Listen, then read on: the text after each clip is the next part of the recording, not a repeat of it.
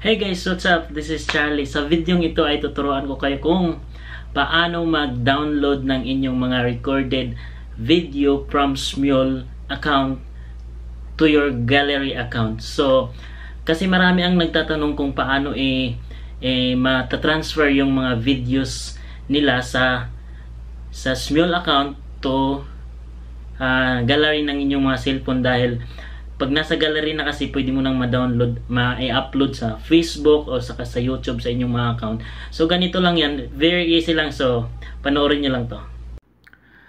Okay. Okay, sundan niyo lamang ang ano yung mga step na ito. So kung punta muna tayo doon sa sa Smule sa Smule account natin, ang Smule account natin kung mapapansin niyo, uh, sorry dito sa Smule account natin, kung mapapansin nyo, yung mga recorded vid video natin, hindi siya nakasave dito sa sa cellphone natin, sa gallery natin. Dito, yung mga yung yung mga video natin. Kung titingnan natin dito sa sa gala, sa gallery ng cellphone natin, wala siya. Wala siya diyan sa gallery ng cellphone natin. So, ang gagawin natin, uh, punta tayo sa Play sa Play Store. Sa Play Store. So, uh, i-search nyo lang. I-search nyo lang ang i-search nyo lang ang video video downloader itong nasa unahan.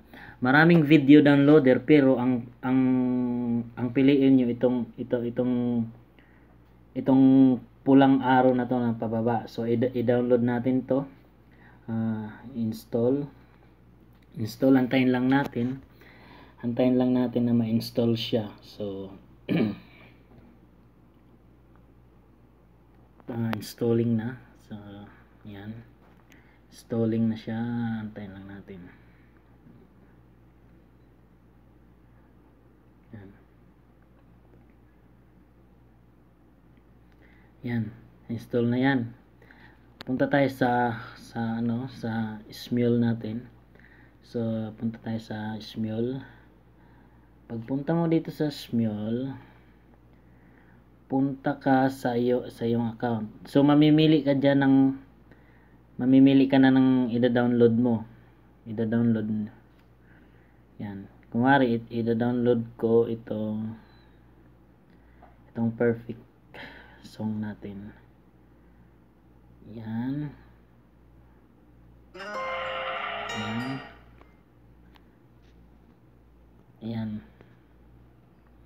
Pindutin nyo lamang yung share. Share. Itong share. Uh, hanapin mo yung copy link. Ito copy link. So nakalagay the link has been copied to your clipboard.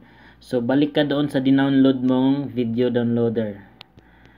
Balik ka doon. So ito yon video downloader. Balik ka dyan.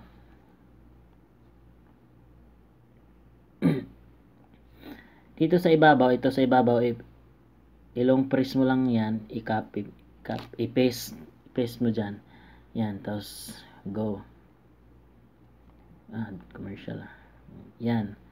Antayin mo lang na lalabas yung kinapi mo dyan.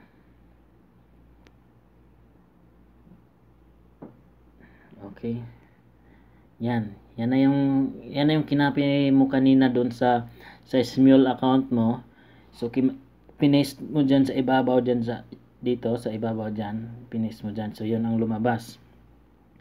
So ang gagawin mo lang uh, if, kung nakikita mo yung arrow dyan sa taas yung pula itong sa sa tabi ng pinagpipasan mo ng ng link pindutin mo yung arrow na pula dyan. So lalabas yan new download. So pindutin mo yung download. Download yan.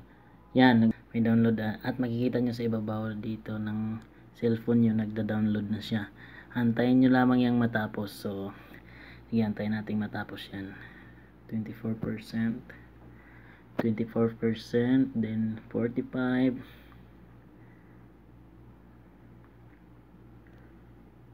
68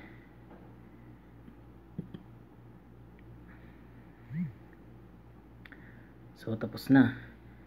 So titingnan na natin doon sa sa phone gallery natin. So, cancel na natin to. Tingnan na natin dito sa phone gallery.